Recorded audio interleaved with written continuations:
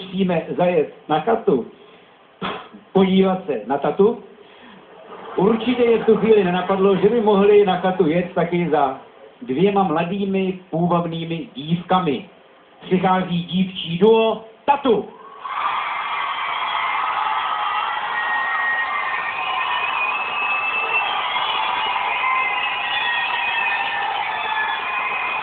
Dobrý večer.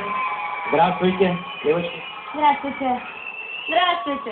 Ano, takže e, já teďka jenom řeknu, komu předají cenu a toho nominovaného požádám, aby přišel pro cenu. Tady děvočky, eh, z Mítěz, da? Eh, eh. Bez problémů se domluvím. Cenu přijde převzít Vlastimil Horvát.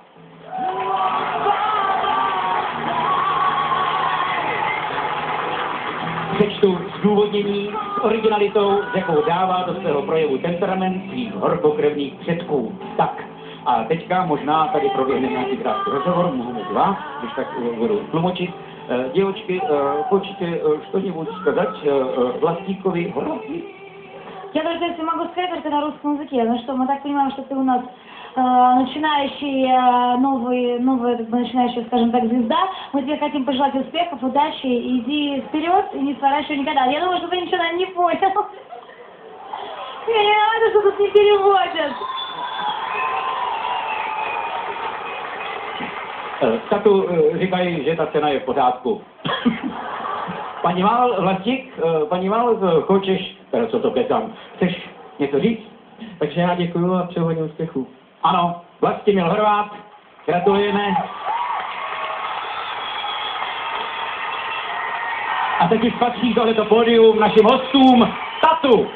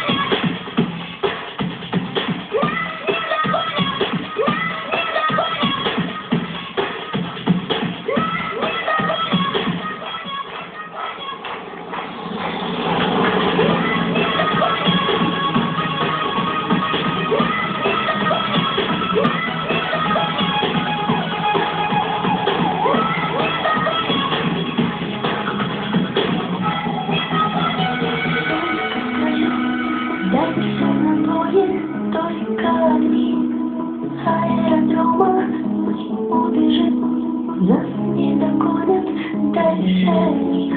但其